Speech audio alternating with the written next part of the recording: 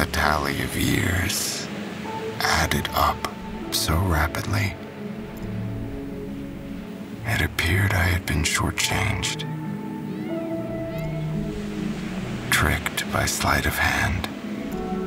Fallen victim to false bookkeeping.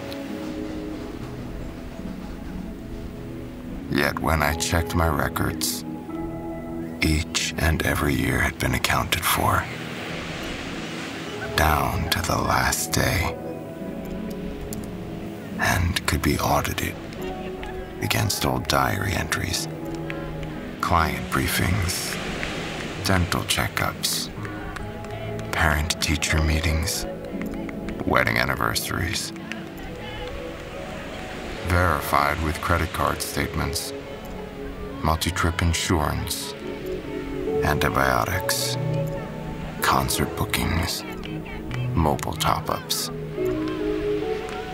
And although nagging doubts remained, an inkling that I had been ripped off in some way, given short shrift, made to live at an accelerated pace, rushed through my routines with unseemly haste.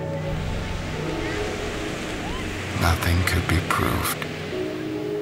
No hard and fast statistics adduced. I had, it seems, unknown to me, been living my life to the full.